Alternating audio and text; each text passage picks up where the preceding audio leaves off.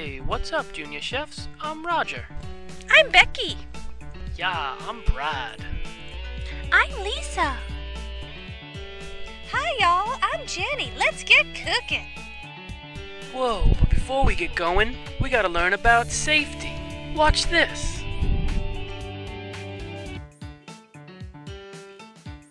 Being safe in the kitchen is the most important thing. Never ever cook without an adult present. Make sure to wash your hands for a full 30 seconds. Today's menu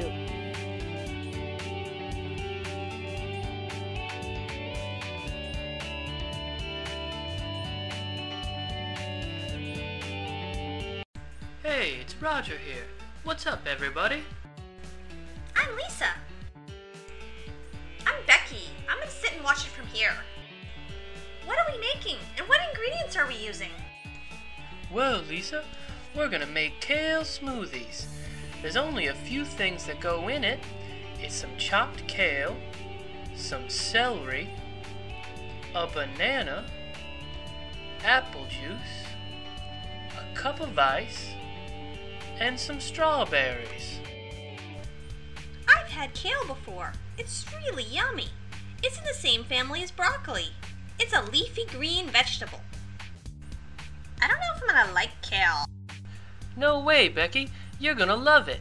It's really awesome when you put it in a smoothie with all the other fruits and vegetables. So we're gonna need to use a blender, but we never ever use it without a parent around.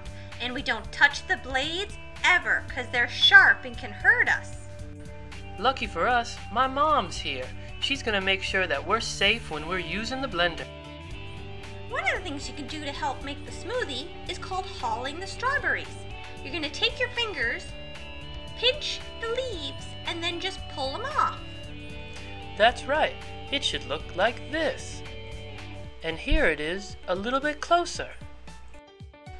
So you've got all the ingredients, and they all look pretty good. You have your strawberries ready, and you have your kale ready, and you have your celery ready, and you have your apple juice ready, and you have your ice ready, and you have your, uh, I think that's everything. You have everything ready. What do we do next?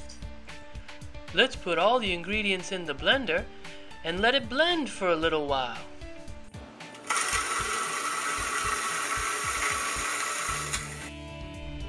This is what it'll look like when you take the top of the blender off. Ours sure looks great. Let me pour everybody a glass. Becky, why don't you come on over and try these kale smoothies? I don't know. They're look green. I don't think I'm gonna like them. I don't know if I even want to try. Sometimes you find when you try stuff, you actually like it. Why don't you come over and try some with us? These are so good. You were totally right, Roger. I love this.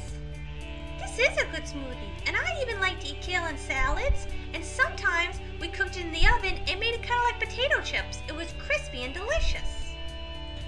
You can put any fruits or vegetables in your smoothie you want. You can try things and experiment.